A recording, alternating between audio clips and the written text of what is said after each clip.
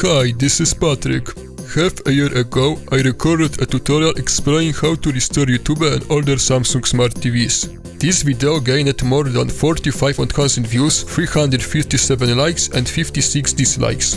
For most people my method worked, but unfortunately there were also cues where it didn't work or there were some problems. That's why I decided to record a second tutorial showing the second application restoring YouTube on older Samsung Smart TVs. The OVP app more simple, so it will work well on older C-series and some D-series TVs with weaker processors. First of all, I suggest trying to install ForkPlayer from our first tutorial because it is better and has many more functions. However, OVP, when the first app ForkPlayer does not work and there are some problems. At the beginning, you turn on your TV set and press the Smart Hub button on remote control.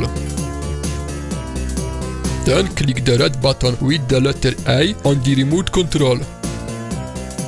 You will see a login field. In the Samsung account field, enter the login develop. You approve OK. The password should be completed automatically. If you do not, enter 000000. Press the login in button. Then click the Tools button on the remote control or for the D-Series TV, the blue D button a submenu will appear from which you can select the last item settings. From the next submenu that will appear select the last item development. Mark the box with the inscription I agree. Then confirm with OK. Please setting server IP. Enter the IP address 5 45 116 112. Press User Application Synchronization. You wait patiently for the synchronization to end. Press the button.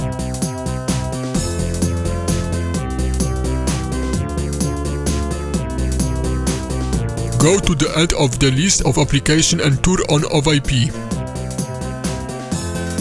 In some of the other models, in order for the application to appear in the list, it is necessary to tour on Smart TV again.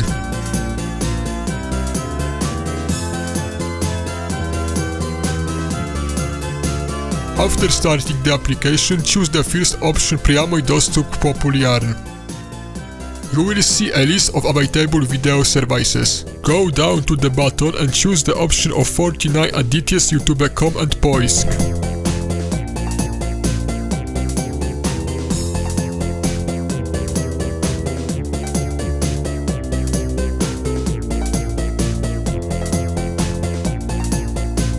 Select the second option Poisk. You will see an on-screen keyboard. To change her language from Russian to English, click on the lang button in the bottom left corner.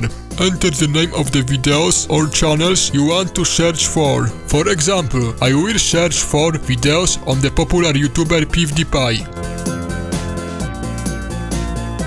You wait about 10 seconds to load a list of videos or channels.